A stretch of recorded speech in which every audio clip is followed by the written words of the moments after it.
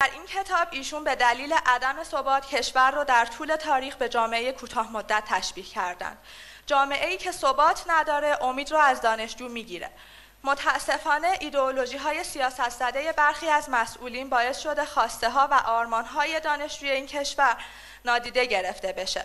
این قضیه باعث میشه که جامعه دانشجویی بره به سمت انفعال و سکوت. اینکه دانشجو سکوت می‌کنه معنیش رضایت از وضع موجود نیست. شاید دیگه امیدی نداره که بخواد حرفی بزنه.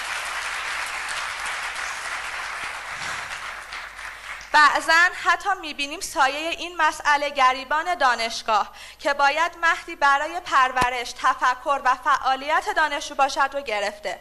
شوربختانه اون چیزی که امروز شاهدش هستیم این هست که سیستم های بازرسی و ارزیابی امنیتی در کشور و دانشگاه به نحویه که مدیران فرهنگی رو به محافظه کاری وامی داره.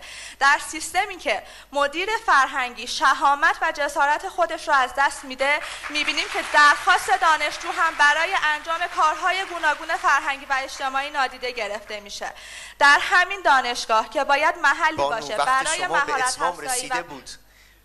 بله بله. وقت به اتمام رسیده. طبق ساعت و کرنومنتی که من دارم نگاه می‌کنم پنج دقیقه شده.